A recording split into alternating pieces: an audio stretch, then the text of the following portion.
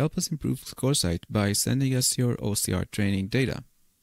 Hi everyone. In the latest version of ScoreSight, you can collect OCR data and send it to us so we can build better models for reading your scoreboards. Once I have my scene set up here with a few detection boxes in ScoreSight, which I had adjusted with the different options here on the left, I can enable ScoreSight to collect OCR training data by going here on the top right and enabling this button.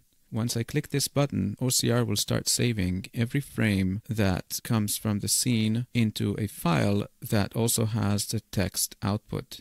The settings for the OCR training data can be visible from the File menu. So I'm going to click the Alt button, go on File and OCR training data setup.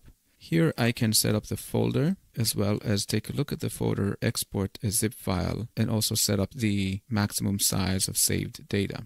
This is the folder that I have set up here. I can click open folder and the folder will open up and you can see all the training data files are here. Both the binary image, the gray image and the text.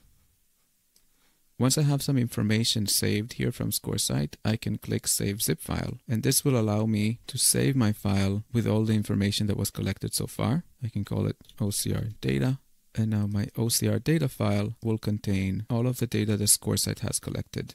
If ScoreSight isn't accurate in any of your readings, you can help us improve the internal scoreboard model by sending us your OCR information and we will add it to our training and provide a better model.